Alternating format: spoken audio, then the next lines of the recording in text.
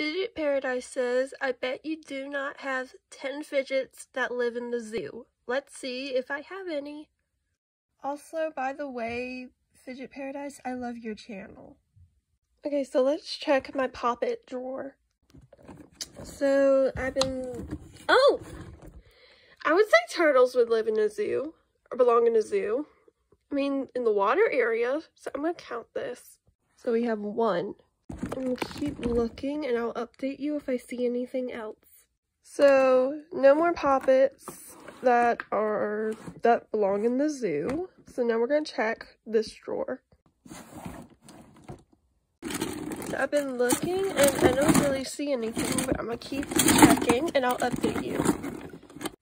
Oh my goodness, I found a gator. Oh, it's so, ew. But yeah, but yeah, I found something. So now we have two. Found another gator. Three. Okay, so I only found two out of that bin. Now let's check down here. So I'm going to count the octopus because it does live in the ocean and I would think they would belong it would belong at a zoo. Four. I found a panda emoji.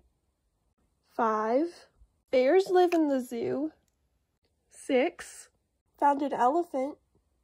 Seven. Found another emoji, but it's a lion. Eight. I found another gator. Nine. Oh no. And ten. Found a hippopotamus. So sorry, Fidget Paradise, but I have 10 fidgets that live or belong in a zoo. Bye.